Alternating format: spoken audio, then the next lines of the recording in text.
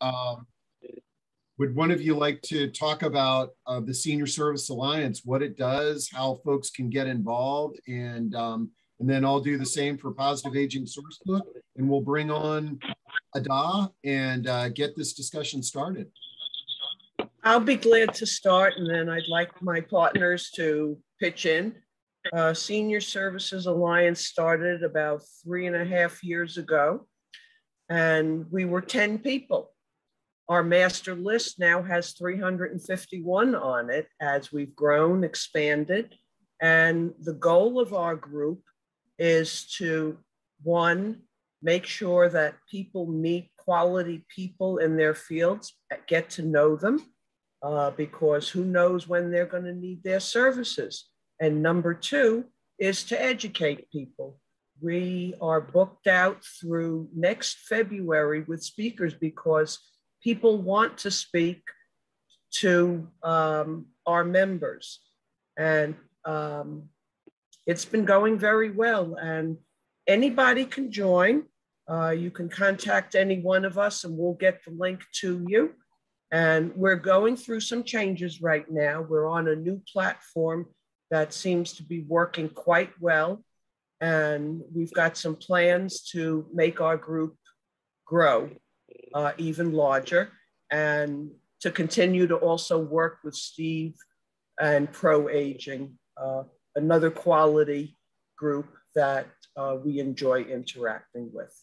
So, Gary, Joe, Aaron. Well, the group is the group is made up of folks that uh, individuals and small businesses that, in some fashion, provide services to seniors. We're all about making available uh, information and programs that uh, help the senior community. That's what we are. And, and the, the, Senior Services Alliance, when you come into the group, it's, it's sort of like a warm hug. So I'm Gary Haynes. I um, I had started a Senior Service Alliance, coincidentally, in Anne Arundel County area some time ago, and that's about five year, years ago. And recently, in the last year, uh, we and and this current group decided to meet, and we decided it was in our best interest to to join together, and we have done that. So we're regional in nature now, uh, Washington, Baltimore region, Annapolis. Uh, excited to be here with a with the merger. We also decided to do outreach to those who use our services, and we'll be beginning beginning that in October. Great. And I'm Erin, and I just reflect that the group is a great group to be a part of to learn more about what's going on in our communities serving seniors. Great. Well, thank you. And, and I'm looking forward to more partnership opportunities with you all.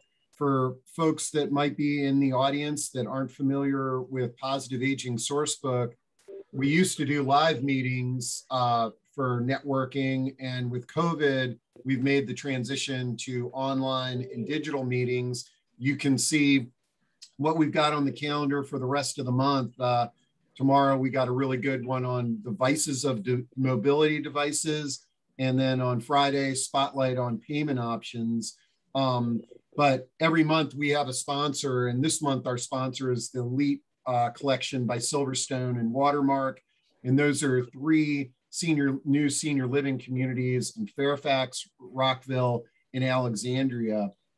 Um, if you're uh, not familiar with Positive Aging Sourcebook, the uh, you can learn about it at proaging.com. You can see all of our recordings in our event calendar. We got a career center, provider search, and we've got the. Uh, uh, if you scroll down to the bottom, you can see all the current editions of Positive Aging Sourcebook, and if you're in the DC metro area, we've got a brand new edition. So if you haven't received it yet, make sure to go to proaging.com or shoot me an email and we'll make sure to get that to you.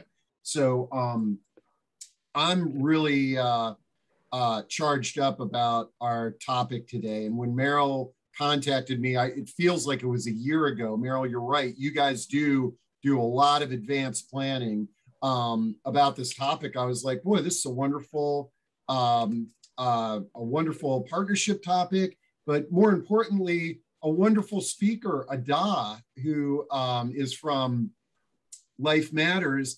And Ada, um, welcome. I've been looking forward to this for a long time. And uh, let's uh, let's let our audience get to know you a little bit of, better. Um, before we jump into your presentation, tell us a little bit about your background and what you do at Lifematters. Hey, Steve, thank you for having me. Thank you, Merle and um, um, Senior Services Alliance for getting me on this platform today. And um, basically, I'm a physician um, who is kind of delved into non-clinical medicine recently just because, you know, I went ahead and decided I wanted to go to more school. And then I got an MBA and an MHA. So with Lifematters, I'm getting the opportunity to kind of understand the business of medicine you know, and my role here is to kind of bring my clinical expertise to help support the social workers and registered nurses that um, are care managers with the communities we serve. So bringing in that knowledge of healthcare and also the, you know, being able to support them operationally. And it's been a, a very interesting one year so far. Excellent. Yeah. Well, let's dive into this topic and uh, the um, what I'm going to recommend so that we you, give you the maximum amount of stage Ada is, is that me and my colleagues at the Senior Services Alliance are going to duck behind the curtain here. I want to remind the audience that if you've got any questions, type them in using that Q&A box at the bottom. Uh, when we open it up, you can raise your virtual hand but uh, really looking forward to a very thought-provoking discussion today. And um, I want to make sure. Okay, good. I got your I got your polls as well there, Okay. Um, Thank you. Okay, so let's um, here we'll put everybody behind the curtain there. Um, and then you can share your screen. Okay. Okay, there we go. Um, I don't know. Is it working? Uh, I'm seeing your PowerPoint. Okay, give me one second. Let me start the share again because I want to make sure that I am going to include my, give me one second. Share, no problem. Share sound, okay. And then Joe, I'm not sure if you can turn your camera off. Here, actually, I'm uh, let me, let me do that. Is that what you want? There we go. Great. And um, so are we good now? Is my slide showing? Yep, that's great. Okay, so um, sex and agent. When you hear the word sex and agent, it sounds like an oxymoron because it's like two contradictory um, words because people just feel like, you know, if you're aging, like if you're 60s, 70s, and 80s, 90s, that, you know, who's talking about sex you know at that age and so that's the reason you know why this this um, presentation we're doing it today is to kind of educate and just let everyone understand that just because you're aging doesn't mean you're asexual um, like the cartoon on my screen shows, um, it just shows, I would just call him, I don't know, I don't want to call anyone in the uh, audience. So let's just call him Mr. A is talking to Miss H and he's you know he's telling her about pole dancing not being what it used to be. And it's it's a funny cartoon but it's just a way to kind of like jar our thinking at the beginning of this presentation to understand that there's nothing new under the sun and that seniors know about things we think they don't know about just i think is the same way when we think when we're thinking about teenagers thinking like oh or young adults. Um, and so um, seniors aren't asexual. Seniors uh, would prefer that we didn't make them feel a certain way uh, if they were trying to express about their sexual lives. And so my objectives today is to, um, let's just share the objectives real quick. My objective is to kind of increase everyone's awareness, you know, of, of any bias they may have to sex and aging. Um, we also want to demystify the myth that older adults are asexual and have no sexual desires. want to challenge any assumptions people may have about older adults and sexual intimacy. And you know, I just want everyone to leave here being empowered either for themselves or for um, people they serve or even for family to kind of advocate for seniors who desire sexual intimacy and to kind of help advocate as well so that we can prevent um, sexually transmitted infections, which happen even in seniors. Um, so that's the aim today. It's going to be interactive. We'll have some videos. Please put in any questions you may have, or even any um, thoughts like to add to the conversation as we go along. And um, so assumptions that we that some people have about you know there's stereotypical assumptions of um, elders and because of that, most of them don't want to express that they're sexually active or that they will be interested in sex because they don't want to be seen as being perverted or that they're living a luxurious lifestyle. Um, however, if we think about it, I feel like seniors are actually in the best position to be sexually um, active because, well, they have no work. They're, most of them are retired, um, no kids, no like gym practice. They have to take someone to. They are the perfect stage in their life. Some people have lost a, a spouse, and so they're open to trying something new. Um, and so the the the the idea that sex in adults in older adults is wrong is like a bias people have. We we're trying to um, break down today. We also want to, um, you know, address any biases people may have about the fact that older adults lose, lose the desire to have sex. They may have difficulty initiating, but they have the desire. Um, also want to bust the myth that uh, older adults can perform during sex. So you're going to watch a video that would let you see that, you know, older adults are active and that older adults aren't sexually active, uh, attractive, or also that they're too sick to have sex. So we're just going to address these biases. And um, my next slide would show um, a poll. Just a quick question is just so we can get our minds thinking and wondering, how comfortable do you feel addressing sex and sexual intimacy with older adults um, in your family you know, maybe people you serve in the community or even among like even yourself. How comfortable do you feel addressing? We just want to get a sense of where everyone is so we can see how we do at the end. Let me get it to about 50% and then we will share the results. Let's okay. see. Get a few more there. Okay. All right, so here I'll I'll share the results with everybody. Can you see that? Yes, I can see it. So I mean, I'm I'm thankful people are honest, and you know, from the poll we can see that uh, very few people are somewhat comfortable, and we just have like 25%, which is like a quarter of the people here that are very comfortable addressing sex, and um, 14%. I mean, that's a good the fact that we don't have people who are very uncomfortable is great, which is probably probably because we have a lot of healthcare professionals here, and somewhere along the line, you've probably learned a little bit about addressing, um, you know, sex and intimacy. I would say from my own experience, um, you know, culturally, just because I'm from Nigeria, um, addressing sex and sexual intimacy in the past, especially with people, um, you know, back home, was a little bit difficult um, for me. There was this bias, which I would think would be cultural, where there were just some things you didn't talk about with grandma, grandpa, or even my parents. Um, I also know that I've talked to a couple of my friends who are physicians, and even in their role and practice as physicians, if they're not directly um, dealing with geriatric patients or they're not, they just feel like that's something else someone should be addressing. so we're going to learn more statistics as we go along about how physicians have even failed in addressing this and how we can help support um, seniors.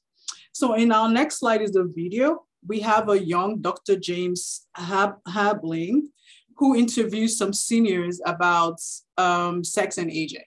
You know, you meet a 92 year old Heather um, who started a new relationship. I think she's a firecracker. and um, let's just see, it's a really short video, but I think it kind of helps us understand a little bit more about the topic.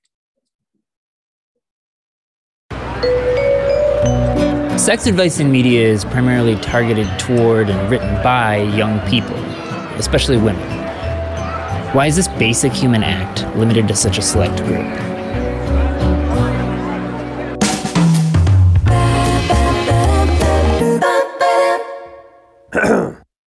Arlene Heyman is a psychiatrist who wrote a book that focuses on sex among older people. She spent years investigating how aging is weirdly equated with asexuality. In so many areas of life, we turn to elders immediately, and yet for sexual advice, that's not really on the table for a lot of people. There's a barrier between generations you want to be involved sexually with people your own age, mm-hmm. and you're pushing off everybody. So people 15 years older, 20 years older are toxic. So you go with your cohort. There's clearly wisdom to be had from people who have had entire lifetimes of uh, lives that included sex, and yet this is an untapped gold mine. I set out to tap this gold mine.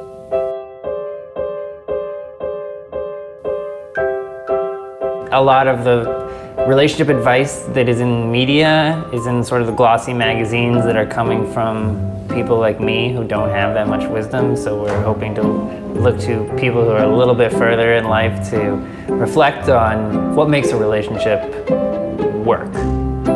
I really care about the person, I'm humanistic now where I wasn't before. So no games? Nice. No, no games, just, just being myself. And they're themselves, and they tell me, oh, they haven't had a discussion like this in so long. We discussed for two hours, three hours. This is, I wasn't like that when I was younger. I'm, I'm just an outgoing, which I always wasn't.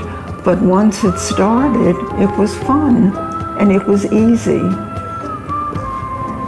And so I continued. So be more outgoing. Yes, and you more, have to more sure of myself. Yeah. At the end of the day, the thing is communication. Keep that going. And as for the boudoir, well, mm, you got to keep that going too. Being inventive and open Being to new inventive. things. Oh yeah, get that pole. Dress up like a puppy. Who cares? Clearly, there's a lot to be learned, not only in sustaining a relationship, but also starting a new one. Herta Weiss is 92 and just embarked on a new relationship after a 70 year marriage. You currently are seeing someone. Yes. And how did that come about? I was walking on the plaza and a man came up to me and he said, Is your name Herta? I said, Yes. Why? He said, Well, I heard about you. Herta, heard about Herta. So you probably get that a lot. no, I do it myself. I'm such a nut. Before that, you were you were married for about 70, 80 years. Can I ask about physical intimacy? Sure. The role in a relationship as it progresses through the years? Yes. I had a wonderful relationship with my husband because uh, he was a lover and uh, I mean, I enjoyed it very much. With David, it's a little different. He's a little older and he still wants to do the same things that a young guy does, but it's not that easy anymore. And I say to him, not today, next week. but if a man is nice and talks to you in a nice way, then you enjoy being with that person and vice versa, you know, if it goes both ways. I would not give it up for anything. There's this idealized image of sex among the young, and then the young suffer terribly because they don't reach that idealized image at all. They worry how they're doing. It's all kinds of worries at all ages. You have one real advantage if you're aging with someone whom you care about, which is mm, you're kind to each other, you know each other, mm-hmm. you know what will work, what will help, and you're less frightened to say, please do this, stop rubbing there, rub over here. That hurts. Slow down. Yeah, if you keep rubbing me like this, my skin will come off. You're less afraid of being rejected for asking for what you want. And I think women in particular have a hard time asking for what they want. So the advice industry is exclusive and misleading, but there are experts all around us. And when you ask them about sex advice, They tend to tell you less about how to ace an oral sex exam and more about how to be a good person. Well, do you have any advice to my generation about approaching relationships? Yes, yes. What I think is very important is to make the woman what we used to call hot. Get into their life, make them feel great, to come come away with something. This communication is the key all the time. To everything. To everything. Even the intimacy. Even, even intimacy. Do you have advice for your 33 year old self about sex? Be kind be kind to whomever you're sleeping with. I would say to somebody like you, for instance, the girl, you know, you're so good looking, you're so sweet, and I really would love to have you in my arms right now. What do you say? Let's go and do something. And she'll say, No, I can't. I'm busy. Tomorrow I have to be, I'll get up at five in the morning. I can't. I said, Well, it doesn't have to be now, but how about another time? This is what I would like because I love you and you're beautiful. And if she says yes, and if she, and and then of course you can make a plan. But if she says, you know, I'm not for, for that. I'd like you, but I really I'm not into that. Then you say, well, I'm sorry, but I need more than that. You let it go. Let it you go. Don't, don't let it go. It. Don't push it too much. Yeah. Right. Yeah. Mm-hmm. Right. Mm-hmm. Um, so, Steve, I don't know if anyone has any comments about the video um, but when I saw that video, to me, it was just like, hey, you know, um, old older adults are having sex. They have great ideas. Um, we could learn something from them, and we could support them as well. So yeah, if not, then um, we can go on. Oh no, it was a great video, um, but uh, also a great reminder to the audience is feel free to just as we approach these topics, you can ask questions, you can make comments, what have you um, yeah, great, great, uh, thought provoking video. That's for sure. Okay. Um, so for people who like um, facts, there's some statistics. There was an NIH study that um, was conducted in 2017 that showed that at least 50% of the respondents and 78% uh, of women or who were respondents and 78% of the men, and they were all aged 75 to 85 years old, reported that they had an intimate um, sexual relationship. So it's it's being studied because it's um, you know happening, and just to let people know, so we're demystifying the fact that people who are older, yes, they want to engage in sexual relationships. The study showed that um, older adults at least are engaging in uh, weekly in um, sexual give me sorry about that in um, sexual activity be it masturbating um, oral intercourse, oral sex intercourse, and even achieving orgasms. Um, they also studied the fact that, like, you know, senior living communities kind of provide that room where people can meet each other and they promote sexual activity. So even though we're thinking that, you know, they're in a community, they're older, things are happening. And if we're um, members of um, people who work in the community, we can also not realize that people are engaging in relationships and let's see how we can help them promote healthy sexual lives, you know, prevent ST, STIs. Um, we also have found out two studies have shown that with the use of internet compared to back in the day, those are, that has also improved opportunities for people to meet their online dating sites, People can purchase sex toys discreetly, um, discreetly, and even um, events that happen online as well, just to get people closer to each other. Um, a 2018 National Poll on Aging said that most adults are satisfied with their sex life. Like I put question marks there because you're like, really? They have a sex life? But yes, they do. Um, the University of Michigan um, poll showed that Seniors aged 65 to 80 years, 60% of them were still having sex. Um, the romantic relationship rate rose to 54%. That even though more men compared to women, um, they were still very much interested in sex. And that only a few of them actually admitted to talking to their physicians about their sex lives. And so my next slide is just really saying that um, you know, we we owe them, we owe seniors you know, support in, in ensuring that they have a great sex life and that they're doing this in a healthy form. And so I just have another question real quick. Do you have any biases towards seniors having, you know, um, sexuality, any, any bias at all that could prevent you from being supportive to a senior?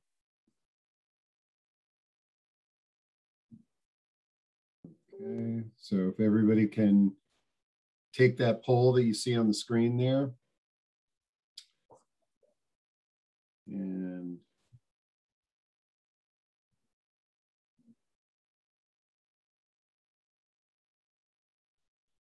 try to get us up to about 50%, and then I'll share the results.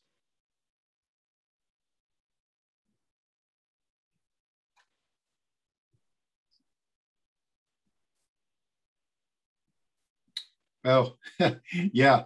Uh, somebody, Steve Lawn said, uh, Ada, Ada, uh, we uh, we needed no bias uh, on the poll.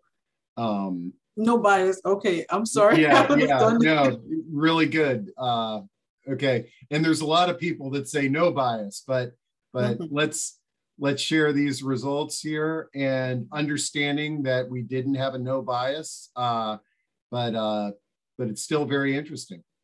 Yeah. Okay. Yeah. I, I would um, take note for next time, but that's true. I think um, the level of importance, the reason I put it was because I was guilty of that in my prior practice. I worked in an OBG, OBGYN clinic, and um, which the poll is showing as the 71% is that when we had seniors, females coming, um, you know, to the GYN clinic, I feel like initially until we had a physician who came like two years before I left that um, changed my perspective. I feel like we had the fact, we, we believed that, you know, there were more important things to worry about. You know, we're like, hey, does a person have endometrial cancer? Do they have, um, you know, cervical cancer?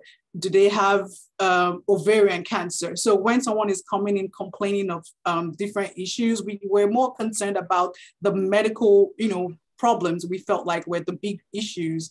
But in retrospect, and like I said, like two years before I left, when we had a different person come in, it changed our perspective to realize that, you know, having a healthy sexual life would also impact their health you know, would help them go through whatever they were going through, even if it was cancer, and you had someone who was supportive, who, um, even though you didn't, maybe because you were too sick to have sex, but you were able to engage in some level of intimacy, that that helped. So um, my next slide is just describing um, physician failure in ad addressing sexuality in seniors. A, a, June 2016 study showed that um, almost like 63%, which is like a, a huge number of um, physicians from the study did not address sexuality in medical interviews. And 23% did it most of the time, but not all the time. And there were some reasons was like the lack of time, you know, they were really busy. They're trying to focus on the presenting, you know, symptom, not knowing that sometimes addressing this other part could help that symptom get better, you know. Um, there was a fear of embarrassing the senior. There was a fear of um, being like being like they were being disrespectful to the senior and most most importantly was the lack of technique so i know it's something that gw is trying to do now where they're trying to introduce more to their doctors and even um, um, students in different like medical allied um, sciences the idea of like being able to address sexuality in seniors not thinking that because seniors are older they don't really know you know they don't have issues or the issues are of less concern. Um, so I know that if this study was done in physicians, the reason I brought it up and I asked the question, I should have put no, was just because I want us to think about ourselves as professionals in the health field and just saying, hey, are we able to help address this concern seniors may have um, and support them to live, um, have a healthy sexual um, life. So um, we've, we've discussed, we've established that seniors are interested in sexual um, intimacy or even sex. We've established that there may be some bias. It could be, you know, like I said, lack of thinking that it's important. Um, we've established that physicians and some professionals have failed seniors in addressing their sexual needs. But now I just want to discuss the things that we can address and support seniors who desire sexual intimacies into their 90s or even hundreds, right? So we know that um, with increasing age, um, sex becomes a little bit difficult. It doesn't mean that they don't want to have sex or they're asexual, like they're they're not sexually attracted. It's just that something could things could impede that desire. So for women, we have we're addressing some changes in women. We have the fact that women experience vaginal dryness.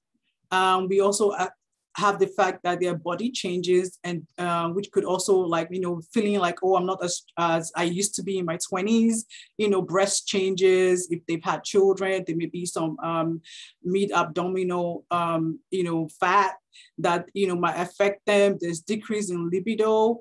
As they get older we have chronic diseases diseases like hypothyroidism and so these are issues, but they can be managed. For instance, for vaginal dryness, you can use vaginal moisturizers like um, the one that is favored right now in the market, it's over the counter, is Replens.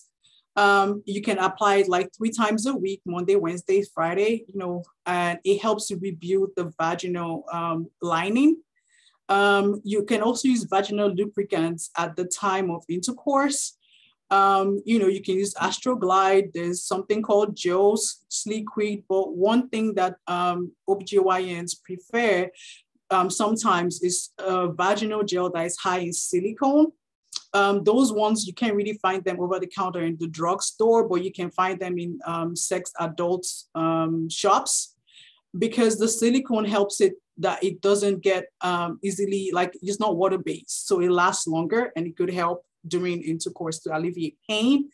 Um, you can also use oral estrogen and pills. That one is, you know, on the extreme cases just because of the fear or worry of breast cancer or also like a stroke. So most times, very rarely do um, GYNs prescribe an um, oral estrogen. There's something called Osphena. It's been approved by the FDA. It's a it's a low, very very low dose um, estrogen pill. But the physicians I talked to recently, just to get a sense of what they how they felt with regards to using Osphena, said that they feel like it's still not something they will prescribe, even though the FDA has approved it, just because they they believe that it breaks down to byproducts of estrogen. And so they're also concerned. And you know, so that's something that if you're taking, if you're overweight, um, if you're if you have if you have a family history of strokes, or family history of, you know, um, high blood pressure, all those kind of things, they'll be they'll be very wary to give you anything oral just because it's more systemic in nature.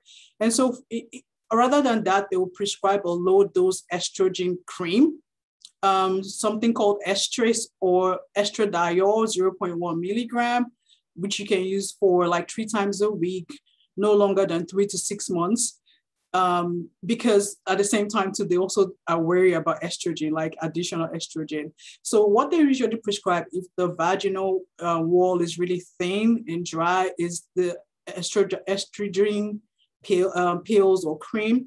Use it for a while, three to six months, and then they flip you over to Replens, which is over the counter. So we can also um, use low dose um, testosterone as well it's not like highly practiced, but hormone replacement to increase libido for women. Um, they can also um, send you to a physical therapy. You can do Kegel exercises to help um, tighten the vaginal wall. And um, we also refer to sex therapists as well, just, you know, to help as well, to help, you know, create like new ideas on how to improve intimacy. And for men, men are, are not left out. So as men age, there's a decline in testosterone. Um, and that can also affect sexual function. Um, they need more, more stimulation to achieve and maintain erections or get to orgasm. Um, their orgasms are shorter. Um, you know, they need a longer time to achieve another erection. And I think it's just okay to let people know, hey, you're getting older. You may not, just like Heather said, you may not be able to do what you did when you were 30, 40, you know, 50s, 60s, but you can still enjoy intimacy, like they said. You know, there are other ways as well. So for men, we do the same thing as well. There's hormone replacement therapy to increase libido. Um, there are Kegel exercises in men as well that can help strengthen the genital urinary um, area as well. Um, we can also primary care visits because we we know that in men a lot of um, diseases could impact I'll discuss that in the next slide, impact um, sexualism and um, sex. Um, you want to rule out hypothyroidism um, most times just to make sure that that's not where the issue is coming from. We have counseling and also sex therapists. Um,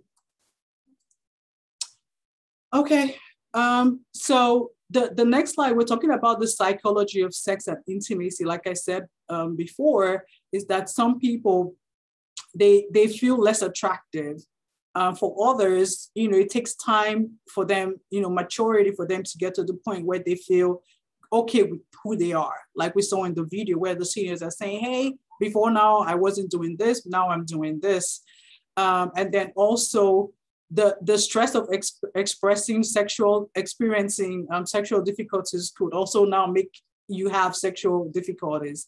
So I feel like um, as, as we are able, let's support seniors, help them manage things that could affect their sexuality, grief, illness, lifestyle changes, money worries. So bringing supports um, to help with grief, you know, help them see the bright side of um, the situation. Helps with money uh, worries, bringing like, you know, people who can help them plan. Um, people like um, Meryl, you know, to help plan so they can now focus. So basically every encounter we have with seniors, let's try to address them holistically, not just focusing on the symptom, but trying to also ask about their sex life if they're willing and able to talk because we might be able to provide some support for that. So explore sexual needs and promote health, healthy sexual habits for them. So with chronic illness and sexual activity, we know that diabetes um, can cause impotence. Oh, give me, sorry.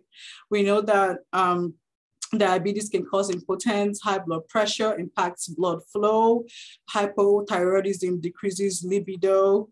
Um, you know, if you've had a heart attack before, you know, it's kind of something you, to watch. Be careful, make sure you're on your medications. Uh, we try to address genital urinary tract infections or incontinence. Um, breast cancer sometimes in men could affect decrease you know their sex drive so we want to address that as well um, even though people don't think it's common sometimes people, men have breast cancer and it's it's um, late before it's found out because our heads are not going to that direction arthritis chronic pain sex may be uncomfortable uh, comfortable. So it's just to find different, explore different angle or different um, um, ways to do better. Treatments could also affect, um, you know, sexual performance as well. So, you, and medications as well. So uh, at the end of the day, I think this whole slide is trying to say, if you have chronic conditions, try to see your um, primary care doctor. Don't be, don't feel shy because sometimes they feel like they're trying to respect your privacy. Uh, they don't want to embarrass you. Um, so they don't want to discuss it, but if you be feel empowered to talk about your um, the your um, sexual history and you know what you would like to see and how they can help you. So the next slide is addressing cognitive impairment and sexual activity. While there are no laws or standards established to determine the abilities for people who have dementia to participate in sexual activity, the Alzheimer's Association just says that, you know, there's some just some like, well, I say criteria. Are they able to voluntarily participate? Are they able to say no verbally or non-verbally? Um, you want them to be safe from harm or exploitation, just because I know that we have um, some facilities where we have people who have dementia or even in our homes. Um, so what we've noticed with um, dementia or cognitive issues is that as the diseases progress, there could be changes in sexual behavior. Some people have an inappropriate, you know, or sexual, you know, advances. Some people are aggressive sexually, which may be due to loss of inhibition, depending on the part of the brain that is affected. Um, and, and some people can even have increased sex drive you know, so we just have to monitor that and see how we can support them as well. Um, for people who have dementia too or any cognitive impairment is that sometimes they may be unable to recognize a sexual partner, which could cause agitation for them. And then the partner could be suffering. So in that way, it's also to let the provide the partner with um, supports and let them see other ways they could be intimate with this. Maybe rub a feet, rub their feet, um, lay down together with them calmly, you know, um, just focus on um, pro um, uh, I lost my train of thought, but focus on instead of just thinking about sex, but focus on like, you know, pre, like just kissing, hugging, snuggling, just to get them to feel more comfortable. Um, you know, so we need to kind of support them. And then for those um, people, family members or residents who behave inappropriately, we try not to overreact or express shock, understanding that it has to do with, you know, the issues going on in the brain. Um, try to redirect them to another activity, something that they like to do that could distract them. Um, don't argue because arguing never works. They, they can't understand what you're saying. And um, if it's happening in a public place, um, try to maybe find somewhere you can get them into where where they can be secluded. You know, so let's be sensitive to people um, who who have um, brain issues and also still kind of have behave either inappropriately or or their sexual needs are heightened. Let's find ways to support them as well, and that those those are um, where you can refer them to like mental health professionals. They can support them and, and also support the fa family by providing um, activities that could help, help them redirect them. So this is a, a, a little video by Dr. Cheryl Fraser, where she just describes responsive versus um, spontaneous sexual activities and also kind of is a segue into kind of describing the benefits of um, sexuality and sexual intimacy. It's really short as well.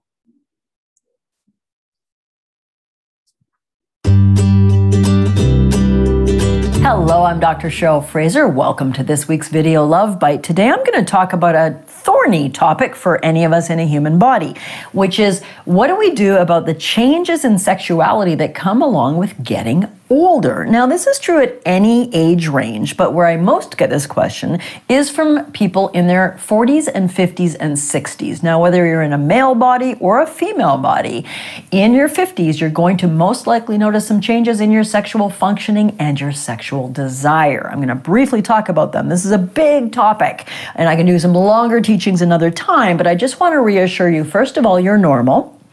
If, as you're getting a little bit older or you've been in your relationship for a couple of decades, you have very little spontaneous sexual desire, what does that mean? It means you don't really feel like ripping your partner's clothes off all of a sudden. That tends to change over time. And one of the ways to fix that is to choose to be sexual, to create something called responsive sexual desire, which is in response to something you become turned on, not spontaneously but in response to, well, I haven't made love to you in a few weeks and I miss you, I'm going to choose to start kissing and touching you.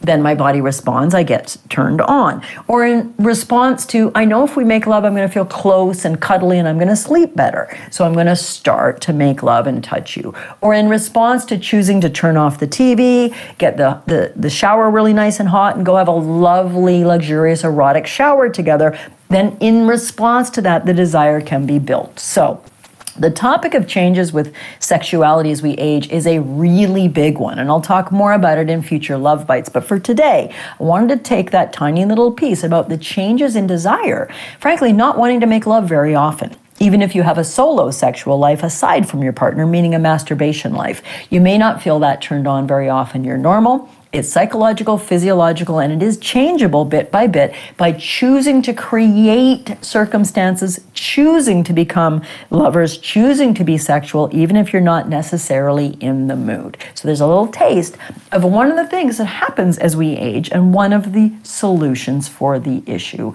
of lower desire, lack of spontaneous sexual desire as we age. I'll be recording some more love bites on changes in our sexuality over the lifespan, sprinkling them through over the next few months. I look forward to sharing more with you right here in this forum. If this was useful, please share it. So, like she said, um, there are health benefits for seniors, and like she recommends, you know, just do it. So you, they, they may not have the desire, but it's good to when we have the opportunity to talk to them about the benefits of um, being, you know, sexually intimate. Um, so like she said as well, getting started could be the most difficult step, but once you get started, then it kind of sets the pace for the future. So with, with especially for women, with continuing like encouraging the um, um seniors to having having sex increases lubrication with time. It uh, uh, uh, increases vaginal elasticity, which increases, you know, makes it easier or less less discomforting in the future. It releases oxytocin both for men and women, who helps and helps which helps us to calm down, sleep better. It helps with pain management as well. Um, there's improved mood. People feel less alone, decreased isolation, improves um, you know longevity as well. Uh, and um, some people even say, like some therapists say that you can consider sex like a workout. So, you know, for people who are not being out um, very active out there, at least, you know, having sex can help in that way, where you're pumping more blood is flowing through the heart and, you know, it helps them as well to live better. So when when we um, talk about um, sex is, uh, and sexuality in seniors, we're not just talking about the act of sex itself, but also intimacy.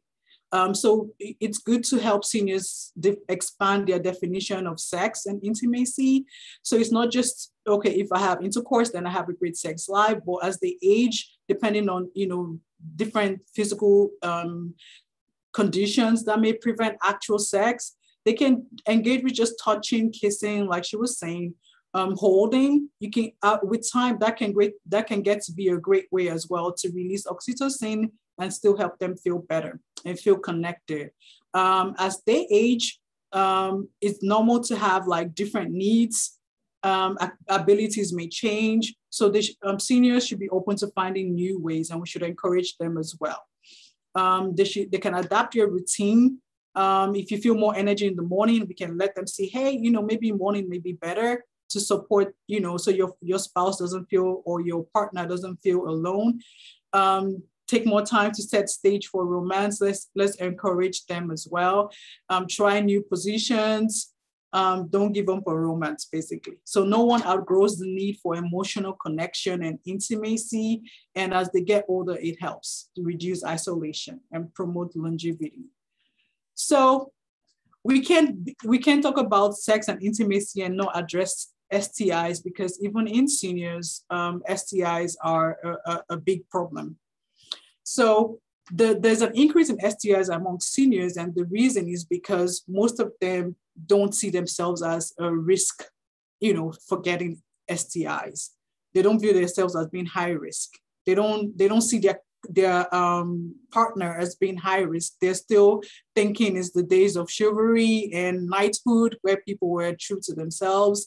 Um, they don't see the need to practice safe sex. Uh, they probably have been in a relationship for a long time. The person dies and they haven't really, they're not used to the new dating scene. They don't understand that maybe we have more um, more men than women in the facility and everyone is trying to get something. So it's our role as healthcare professionals to um, help support them.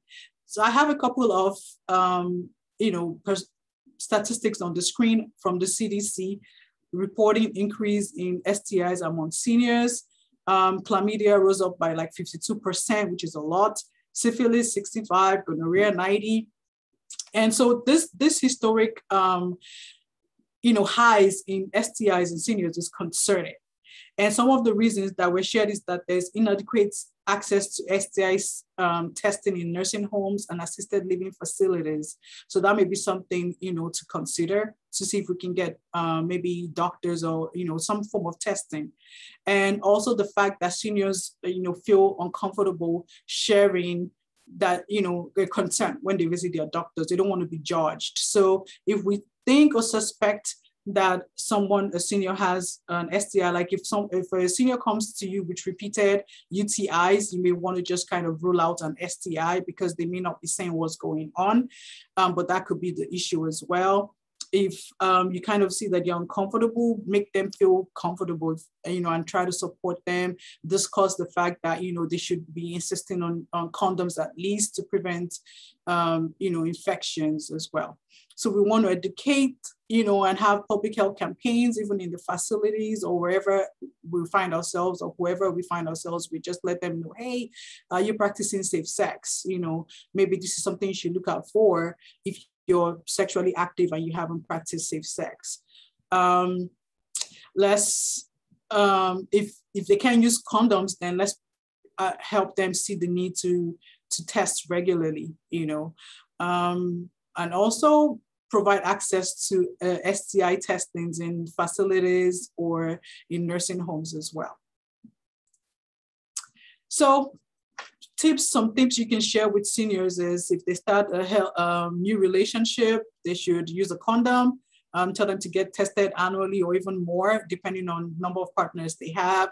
Eat healthy, exercise regularly, um, reduce alcohol and um, you know um, smoking, just to help make sure they're healthy. Because the healthier you are, the easier it is to find some infections. And let's provide support, no sex shaming.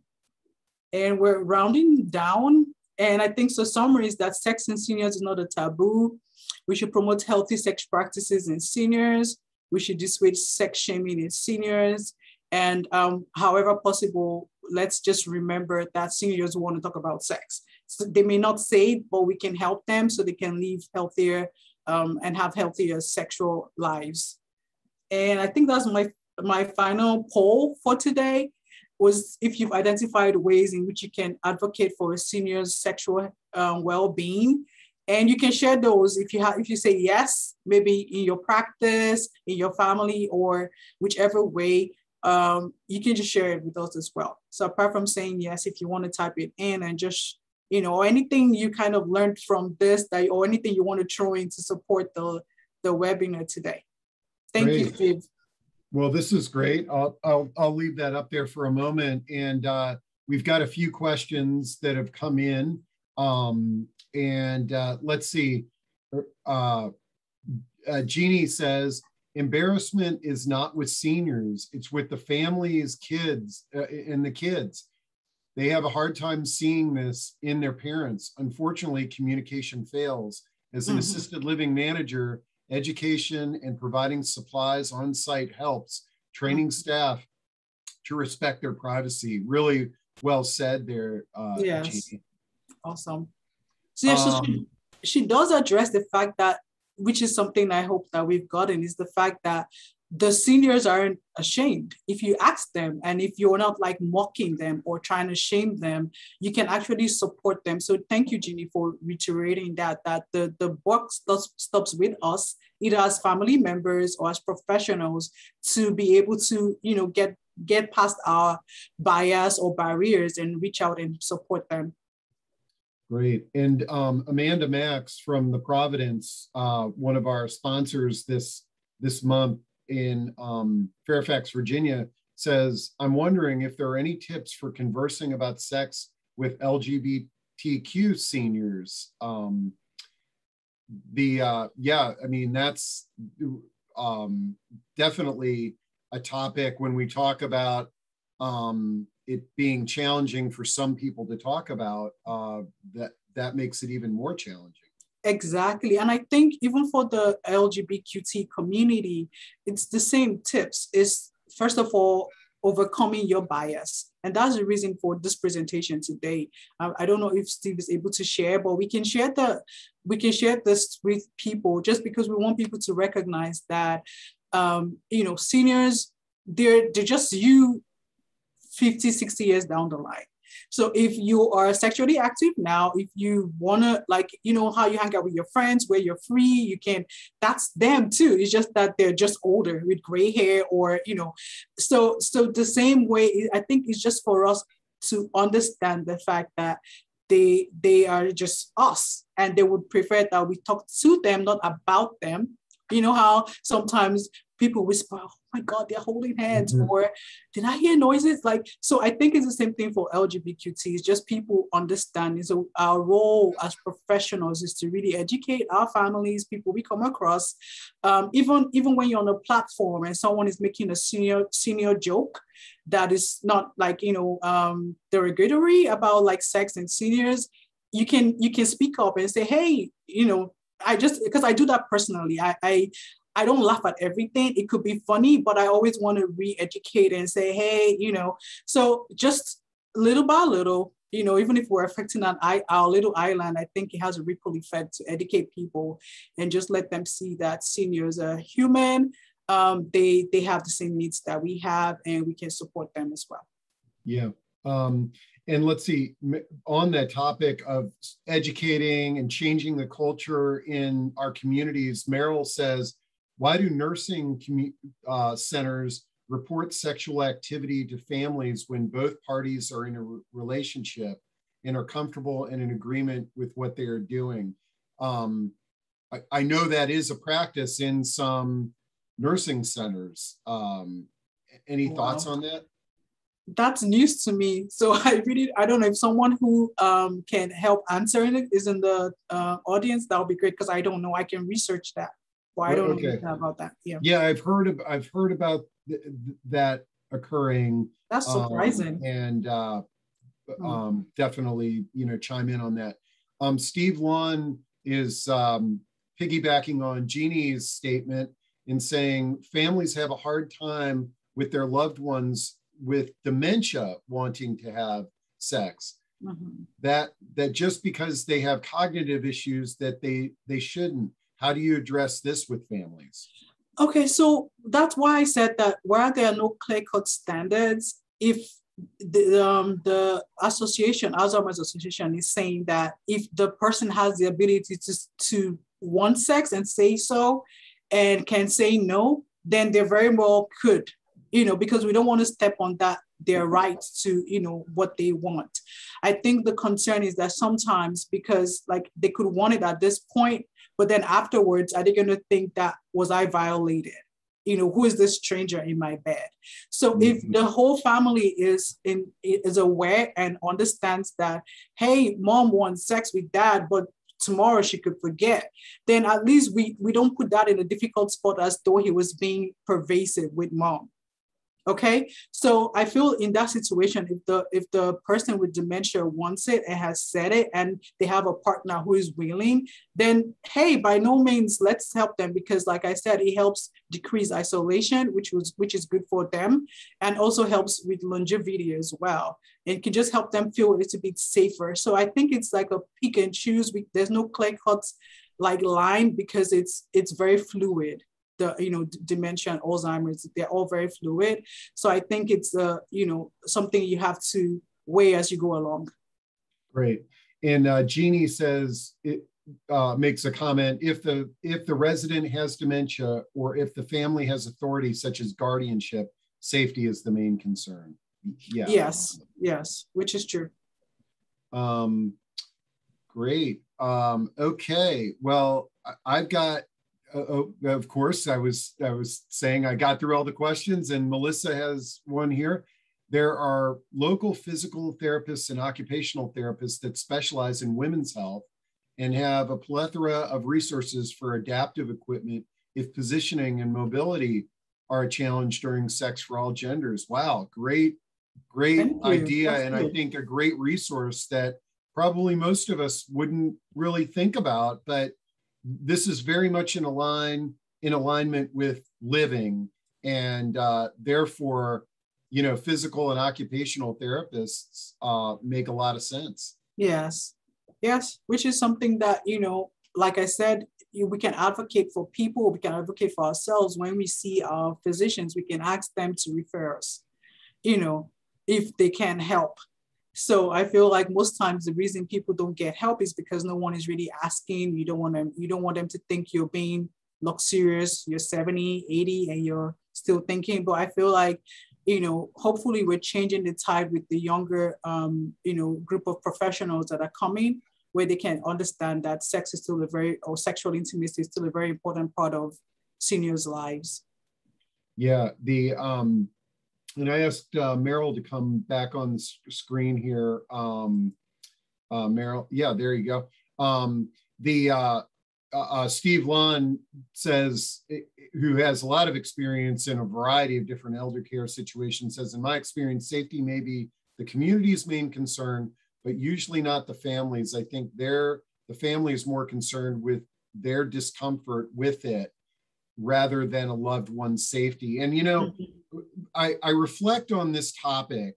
It's and and it's ironic, but there's when it comes to sort of elder care decisions, there's two topics that families have a lot of difficulty talking about, but it's not just, it didn't just start now, it started early on in that family's history, and that's sex and money. It's sort of like most of the times we do not talk about sex with our um, uh, our family members, except for the birds and the bees talk. and then with money, mm-hmm. like it, it's oftentimes taboo to talk about money with our families. And then all of a sudden, we're in sort of an elder care retirement situation, and the family's trying to figure out, you know, what can mom afford? Where's the money? Where's the advanced directives? Where's mm-hmm. all that? So mm-hmm. I think communication really is a um, uh, uh, the root of all evil Mm-hmm. And we need to just, because now as families, we're all adults, we can have adult conversations exactly. about sex and money. Um, and I think that for seniors, like couples who are in facilities, that's why sometimes the woman may not want the man to move to, to memory care. Is because she wants someone that can hold her at night or mm-hmm. just be there. So understanding that they have that need and maybe trying to find ways to support them uh, while still maintaining safety, like Steve has talked about, Steve Land has talked about, you know, let's just consider it as well. Great. Well, uh, Adat, this like, is, yeah, go ahead. I'd like to add something. I read a story about a man, an elderly man and woman who were living together. For whatever reason, they didn't get married, but they in were enjoying their life together and the kids got together and separated the two and the man died a lonely he was so lonely that he died earlier than he should have and the kids wound up getting more money because mm-hmm. he died earlier and it's mm-hmm. very sad that money becomes such a, a, a problem uh, mm-hmm. because the kids in some cases want more and more and more. And it hurts the seniors. Mm-hmm. Mm-hmm. Why not let them enjoy their life as long as they can? They put in their time. Yep.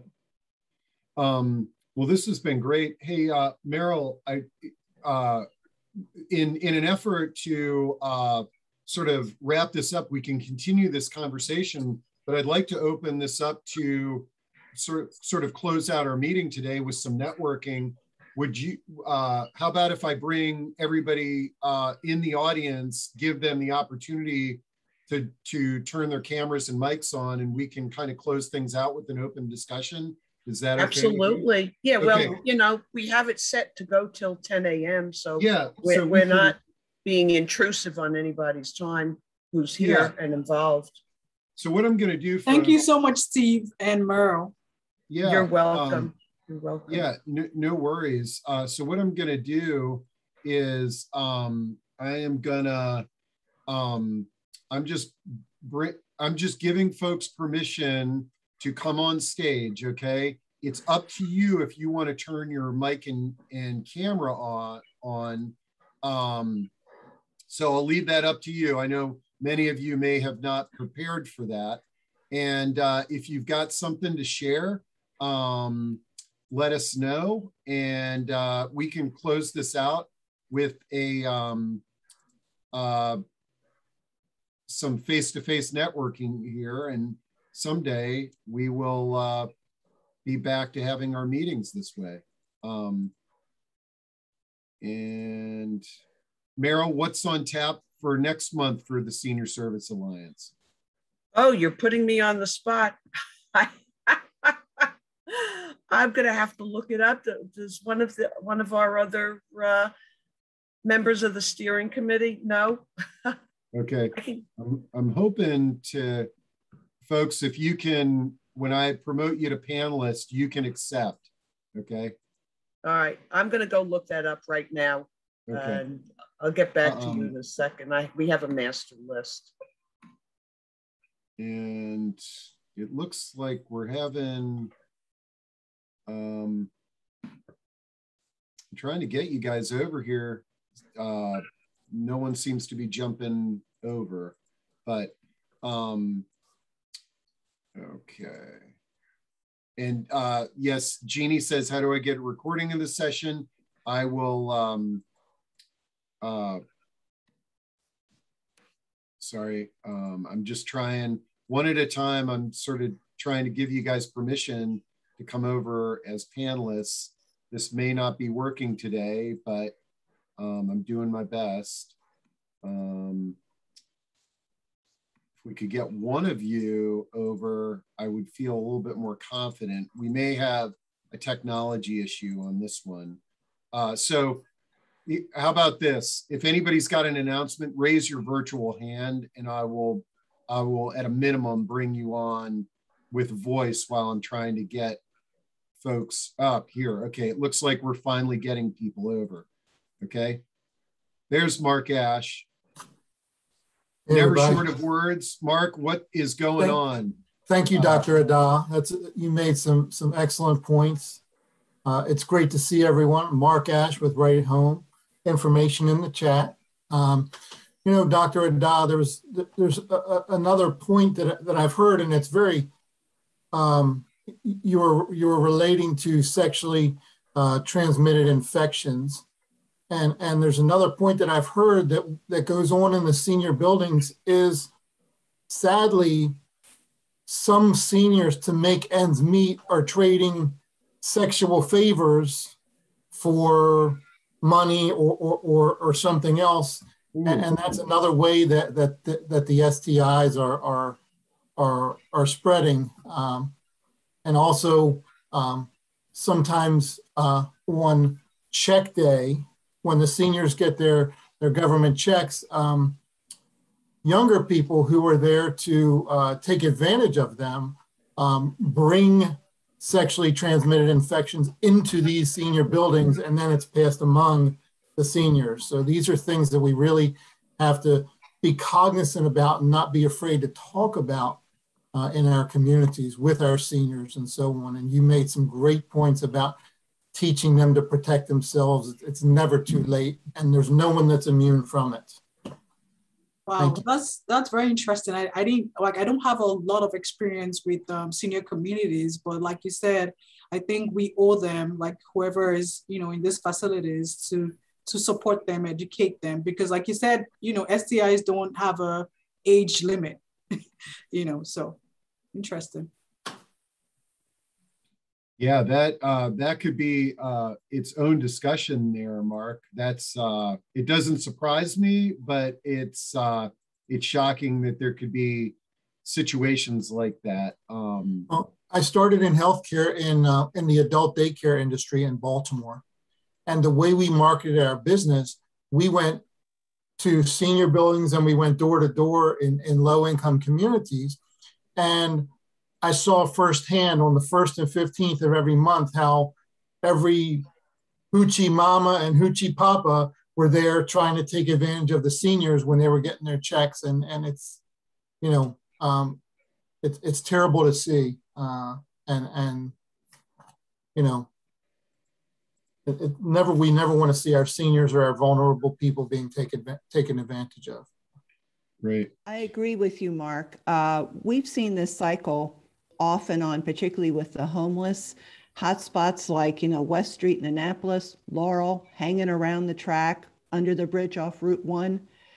A lot of these people have mental health issues in addition to being homeless, and they are prime targets, particularly when they go to the liquor stores that charge them an outrageous fee to cash those checks. And there have been so many different uh, civic groups, and the police have been aware of this through their monthly uh, thing. And they're, d- I don't know what the answer is because the liquor board doesn't seem to be hitting them where it hurts in the wallet. Wow. I don't know what the answer is with that cycle, but it is a shame. But you're absolutely right. This, this could be its own discussion. Um, I, I thank you all for bringing that to everybody's awareness.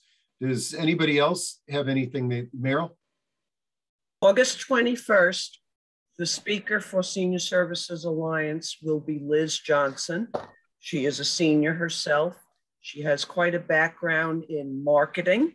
She was part of the uh, corporate world. Now she has a very successful uh, small business herself. And she's going to talk to all of our vendors, all of us as vendors, and how we can market our businesses further. And then on September 14th, our speaker is Jan Brito and Laura Quigley.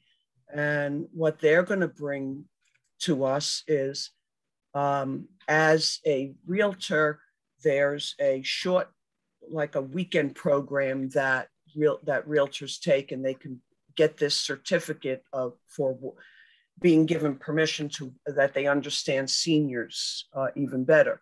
There is now a program which takes a year to complete. And they are at the end of completing this very specialized program in dealing with the real estate market and interacting with seniors. So those are our next two presentations. Great, and I found the uh, the link to all of your meetings and threw that into chat as well. Hey, Mark, um, Steve, I just wanted to say hi, Jim Blad. Hello, Ida. How are you? I'm good. Good to see you. Good and to Mark, see too. you. Love the presentation. That was excellent.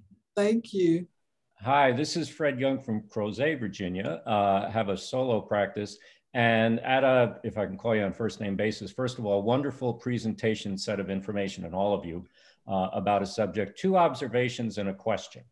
Um, the two observations are one, this is the most number of males that I've seen, Steve, on any recent webinars. mainly women, so that's interesting curiosity.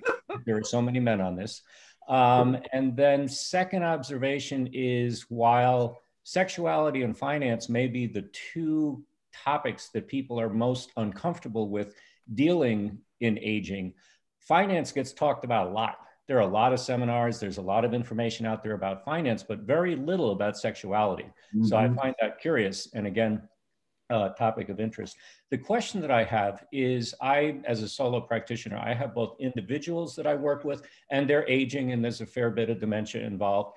Um, and I've got individuals and then I have couples. I wanted to check that when I'm working with individuals, it's typically a one-on-one counseling session that I would have, or otherwise I kind of use my judgment in terms of if I want to discuss sexuality with a couple individually, with each one separately, versus discussing it with them together. And I probably would use my judgment if I see that they have a caring, loving relationship, I might consider bringing up the topic and seeing if they even want to talk about it and just say, hey, you know, um, you know, are you comfortable talking about sexuality? Is that that's part of my assessment? But we also don't necessarily need to talk about it, feel them out.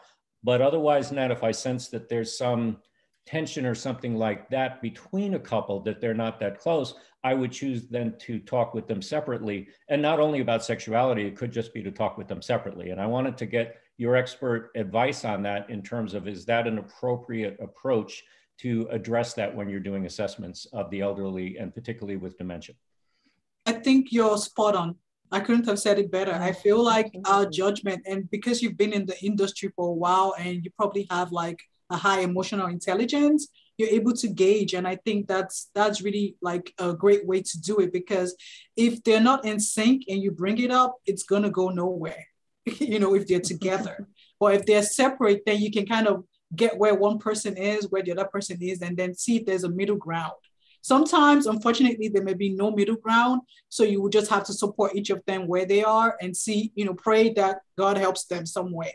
But if they're together and in sync, then yes, definitely, because it would be to their advantage to hear it together from a neutral party, you know. So it, and I, that's really awesome. Like you said, you know, it's something that I feel like we owe it to them to help support, just because, like I said, it helps improve longevity, helps them feel better, manages pain.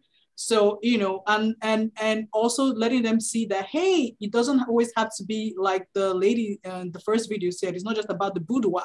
I don't know what that language, what language that is, but it's just about the connection, the the you know the feelings of I'm not alone, you know. So there are other ways you can just hold hands, you can be together, you can play a song from back in the day that you liked, you know. You can just set the mood, and that's okay, you know. So great job, thank you for the Thank question. you. Yep. Any other questions, comments, discussion topics? Uh, events that you guys might have coming Yeah, I want to say that I'm looking to hire care managers. so if you know anyone, send them my way, nurses or social workers, you know, part-time, you know, whatever. Thank you. I can only do long distance work, but I can do it telephonically and Zoom if folks are interested.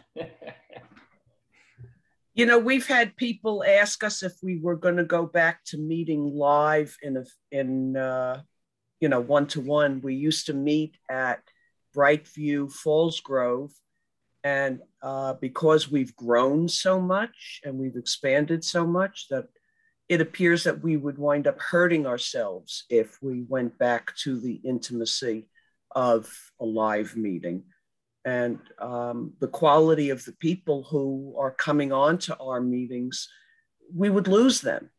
So I think being virtual is how we're going to stay.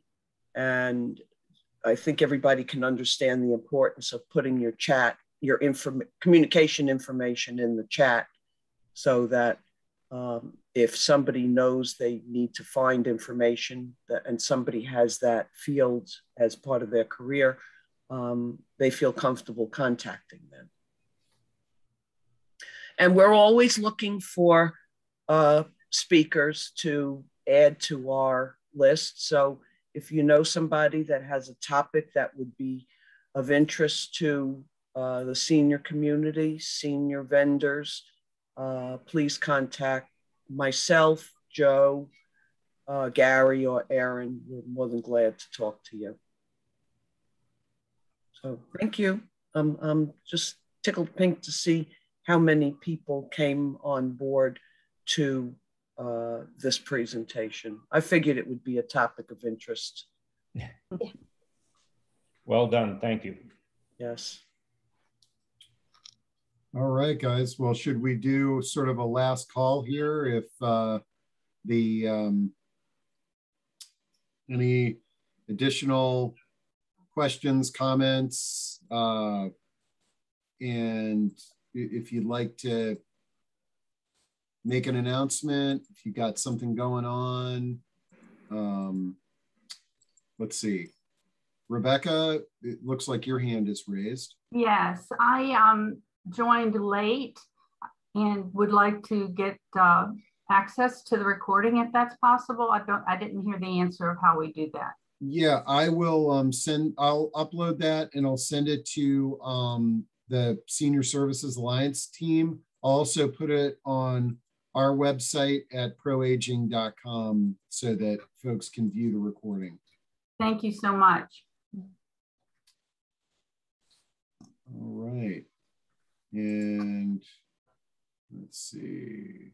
I could add oh. one more thing is that if, if and people are already doing this is continue to spread the word about the quality of pro aging sourcebook and senior services alliance we both feel uh, the more the merrier and you know professional people always have something good to say Great. Thank, thanks, Thank Meryl. you. And then uh, Jim, I think you, you got your virtual hand raised there. Yes, thank you, Steve. I, I just wanted to make sure, will you be uh, sending a copy of the chat out to everyone as well, or do we need I- to individually? I, I can definitely do that. That's Okay, great. great. Thank you so much.